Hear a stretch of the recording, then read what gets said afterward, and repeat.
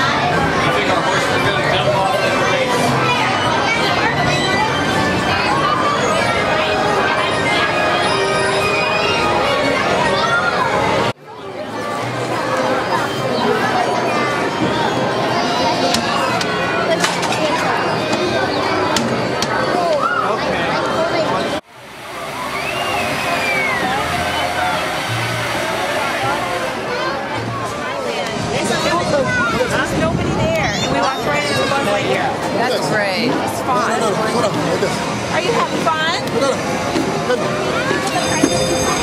Show He-Man how to do it.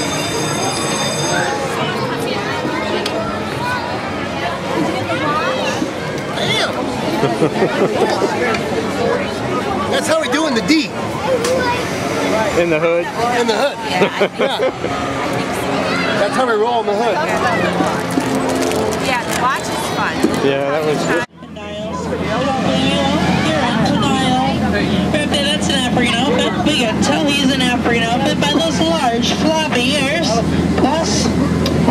We're in Africa.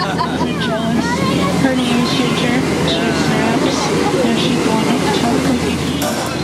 Oh, they look like hungry, hungry hippos. But guys, what do you think? Hungry, hungry hippos. If you're wearing white, don't make the sound of a marble. That won't be good. No, I don't want the sound of a marble. But if you're wearing white, you just let me